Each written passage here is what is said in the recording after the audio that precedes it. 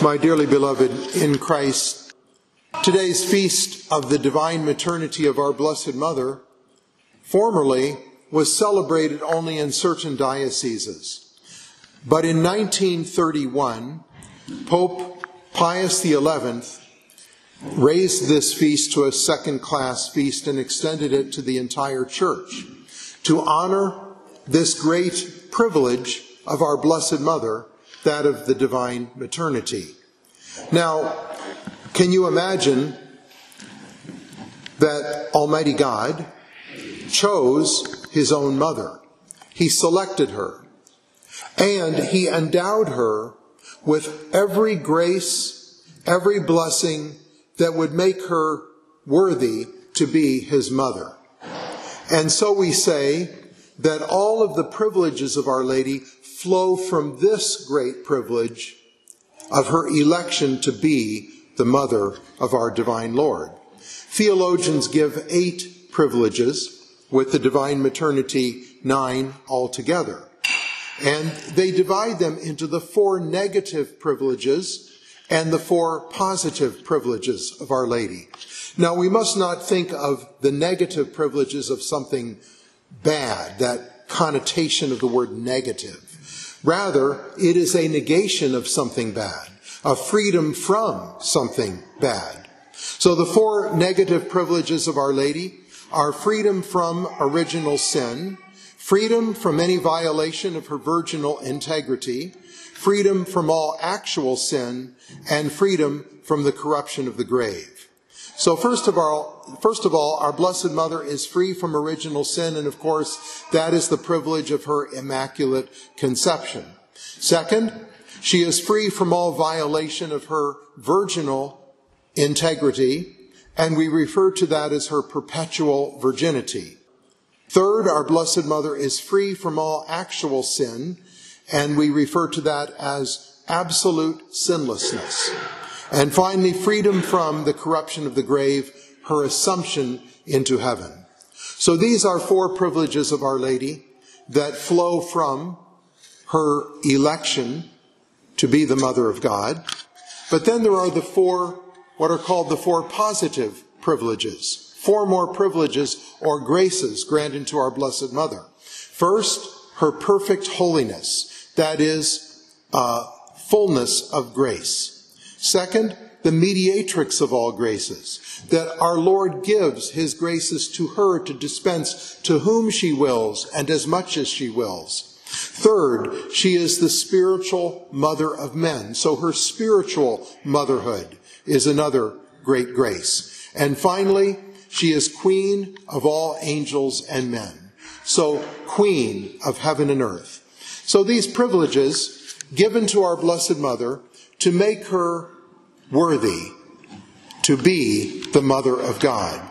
Now, Pope Pius the 11th, as I said, instituted this feast in 1931, and he did so to commemorate the 15th centenary of the Council of Ephesus. The Council of Ephesus was convened in 431 by the Emperor Theodosius II in order to answer or respond to the teaching of a bishop named Nestorius. Now, Nestorius denied the unity of person in Christ. He so separated the two natures of Christ as though there were two per- persons in Christ. And it was the Council of Ephesus that defined the Catholic dogma of the incarnation and that Jesus Christ is one person with two natures, the divine and the human. But Nestorius, in his heresy, said that Our Lady could not be the mother of the divinity, that she only gave birth to the human nature in Christ. She gave birth to Jesus as man. So he denied that title of the divine maternity. And the bishops assembled at Ephesus, as I said, in the year 431, and they defined the true teaching of Christ, one person with two natures. And they also proclaimed that Mary deserves to be called the mother of God because she truly is. In the Old Testament, in the book of Isaiah, the prophecy was made, a virgin shall conceive a bear, and bear a son, and his name shall be called Emmanuel. Well, the word Emmanuel means God with us. So she brought forth a son, and that son was God.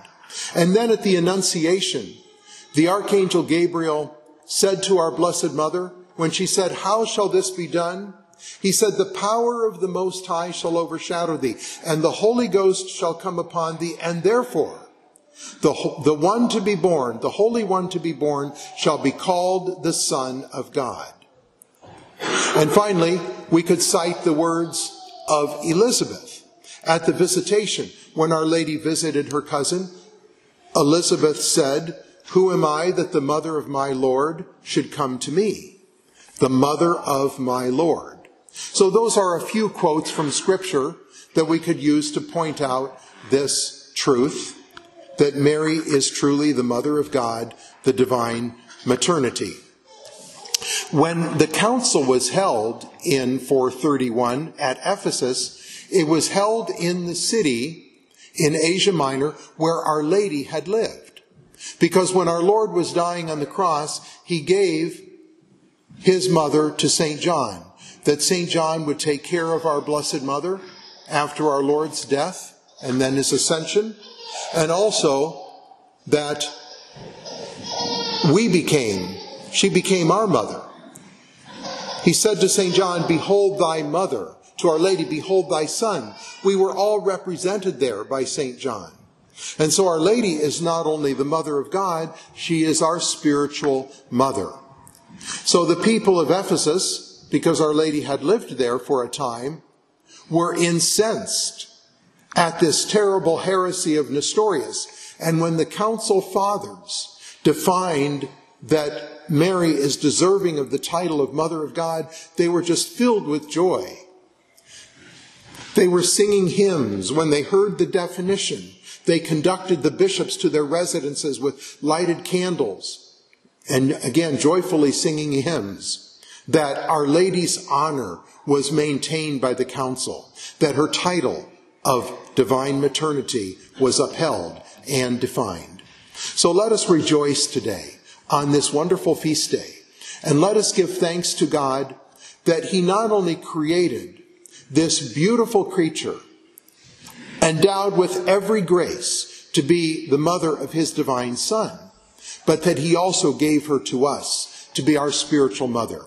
And let us turn to her in every need, in every difficulty, in every temptation, because we know that our mothers love us and will do anything for us.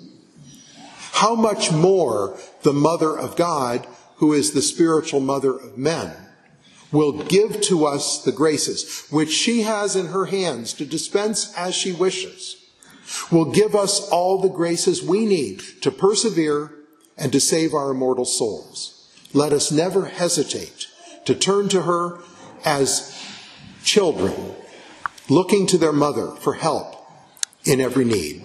Let us rejoice in her title and let us run to her in every trial and difficulty and call upon her by that beautiful title of Mother, Mother of God. As we say in the Hail Mary so often, so many times a day when we say our rosaries, Holy Mary, Mother of God, pray for us sinners. We remind her of this great privilege that she was given, and we ask her thereby to grant us all the graces we need. In the name of the Father, and of the Son, and of the Holy Ghost, amen.